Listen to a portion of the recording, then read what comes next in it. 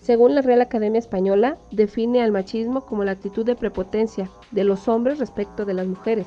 Se trata de un conjunto de prácticas, comportamientos y dichos que resultan ofensivos contra el género femenino. Para ti, ¿Colima es machista?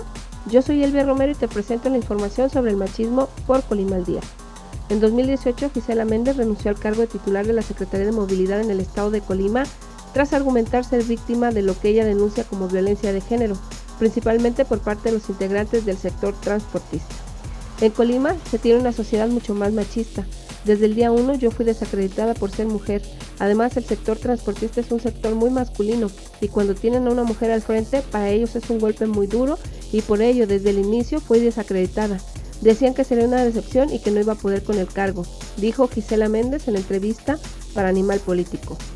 De acuerdo a José Mora de la Rubia y Sandra Ramos Basurto en su libro Machismo, Victimización y Perpetración en Mujeres y Hombres Mexicanos, estudios sobre las culturas contemporáneas, señalan, el machismo se puede definir como una ideología que defiende y justifica la superioridad y el dominio del hombre sobre la mujer, exalta las cualidades masculinas como agresividad, independencia y dominancia, mientras estigmatiza las cualidades femeninas como debilidad, dependencia y sumisión.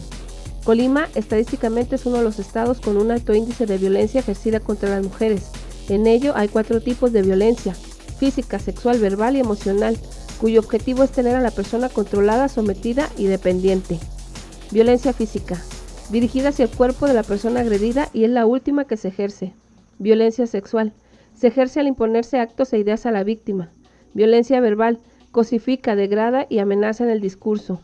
Violencia emocional, Destruye sentimientos, expresiones y la autoestima de la mujer al hacerla dudar de su propia realidad.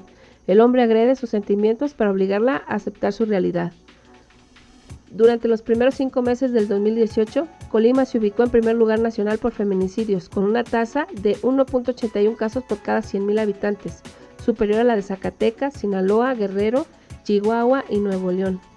En junio del 2017, la Secretaría de Gobernación, a través de la Comisión Nacional para Prevenir y Erradicar la Violencia contra las Mujeres, emitió la declaratoria de alerta de violencia de género contra las mujeres en los municipios de Colima, Coquimatlán, Cuauhtémoc, Tecomán y Villa de Álvarez. ¿Eres víctima de un machista? Esto es lo que debes saber.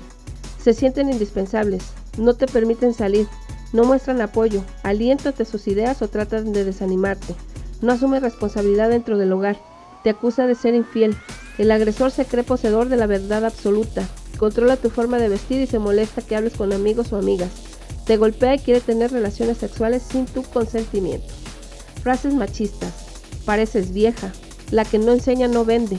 Corres como niña. Ese trabajo es de hombres. Yo sí ayudo en la casa. Vieja el último. Estoy a favor del feminismo, no de las feminazis. Esta y más información la encontrarás en www.colimaldia.com. Síguenos en redes sociales.